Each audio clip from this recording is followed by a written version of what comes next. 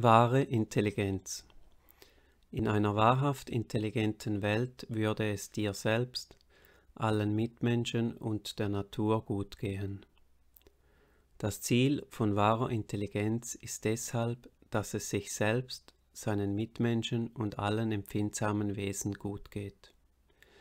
Wahre Intelligenz findet sich demzufolge in Handlungen, welche das eigene Wohl, das Wohl aller Mitmenschen und das Wohl der Natur bzw. aller empfindsamen Wesen vergrößern.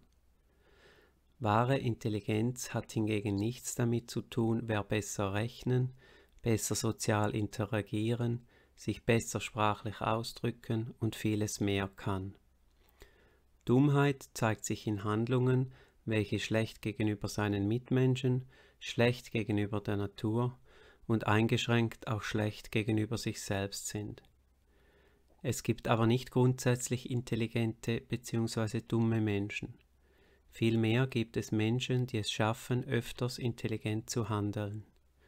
Dumm ist aber nicht der einzelne Mensch, sondern immer nur die einzelne Handlung.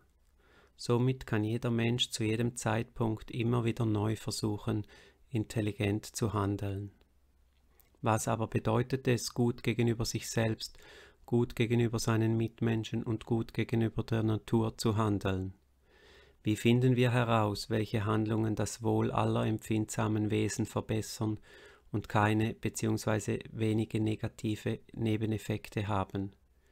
Diese Frage zu beantworten ist nicht einfach, aber ich denke, ein Versuch lohnt sich. Lutai möchte dieser Frage nachgehen und Projekte, Menschen, Ideen und vor allem Handlungen finden, welche im Sinne dieser Intelligenzdefinition handeln, um das Leid auf dieser Welt zu lindern und an einer wahrhaft intelligenten Welt arbeiten. In diesem Sinne, lasst uns versuchen, intelligent zu handeln.